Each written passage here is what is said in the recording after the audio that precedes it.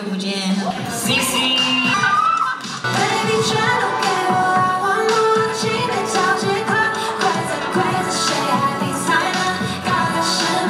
这张专辑的概念就是，嗯，它是以一个比较女性的视角去，嗯，描述一些事情。比如说，我可以很大胆的去追求恋爱，我可以很大胆的、很自信的做自己，爱自己。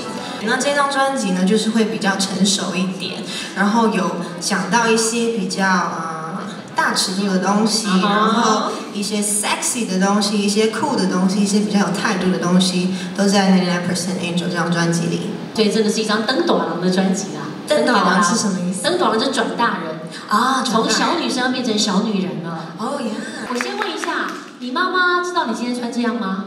知道呀，哦，知道哦，我妈妈也很辣，其实她现在还单身，所以如果大家有认识的 叔叔的话，可以介绍一下，谢谢。哦，No，平常我绝对不会这样穿，穿成这样走在东区非常的有势。我平常当然还是穿就是舒服就好了，但是我觉得为了这次 MV 的视觉，穿辣一点没关系啦。对，为了艺术牺牲没关系啦。Karen Cici 视觉进化版的 MV，好，左右两边的荧幕请看。C C，他也是一个非常优秀的音乐人，所以呃，现在在等什么呢？直接就去听他的音乐，It's good，保证有我。有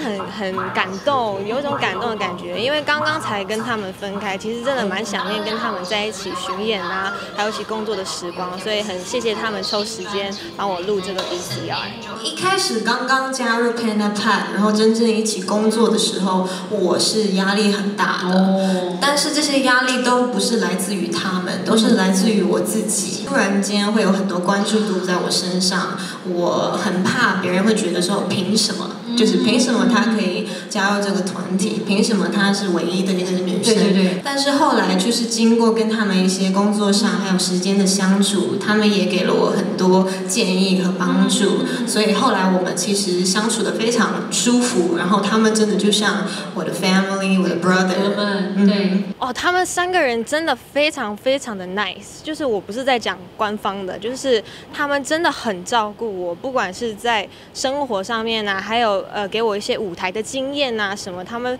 只要能都会给我一些很有用的建议。我记得我们第一次上了呃一个通告，然后我实在是太紧张了，然后表现的没有那么好，然后后来就是下来的时候，就是我有偷偷的去哭，Jackson 发现了说我在哭，然后他就花了很长的时间去安慰我，然后跟我讲了一些非常鼓励人心的话，然后我又后来我就又振作起来，然后继续工作这样。